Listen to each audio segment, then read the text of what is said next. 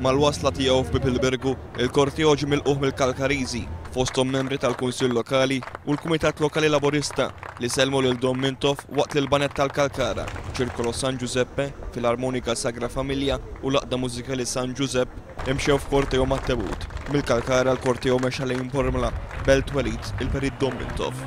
Hemmhekk jistennewh Mijiet ta' nies imbikkma, imma kburin li dan il-ġgant tal-politika Maltija ħareġ minn fosthom u għex magħhom. Jien minn Bormla stess hija, nafu kont anke dħalt konkorsi żmienu għandi bil-midalji tiegħu u affarijiet oħra. Ħassejt ah, mhux għalhekk biżejjed il-verità. Anki personalment bħala rispett li bniedem Bormliż ukoll.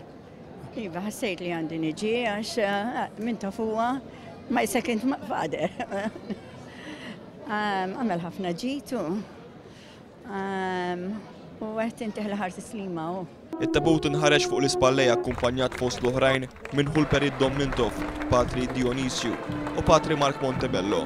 Malli għadda minn qoddim il-gazin Banda San Ġorġ, il-tabut ta' Mintof waqaf għal ftit minuti b'memorja l-ħidma kbira li wettaq fi ħdan din is-soċjetà fejn serva bħala President għal aktar minn 50 sena. Mument kommozzjonanti kien dak fil-Kolleġġjata ta' Bormla fejn dwiet l-għajta minn toff minn toff minn dawk kollha preżenti. Il-korteo waqaf għal xi mumenti ta' talb fil-Kolleġġjata ta' Bormla. fejn tfakkret ukoll l-imħabba li kellu l-Perit Duminku Mintoff lejn il-festa tal-Kunċizzjoni.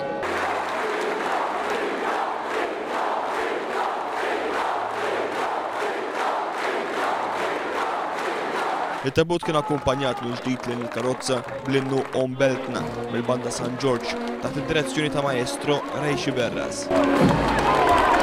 Il-Perit Duminku Mintoff joħroġ għall-aħħar darba minn taħt il-mina ta' Indwieli. Tislima xierqa mill-poplu tal-Kottonera dak il-poplu li tant ħabb u li tant ħabbewh u li eleġġewh għal leġiżlatura wara l-oħra fil-Parlament. Joħroġ ukoll u jgħaddi għall-aħħar darba minn fejn it-Tarzna, it-Tarzna li tant ħadem fost il-ħaddiema tagħha u li l-ħaddiema tat-Tarzna tant ħabbewh.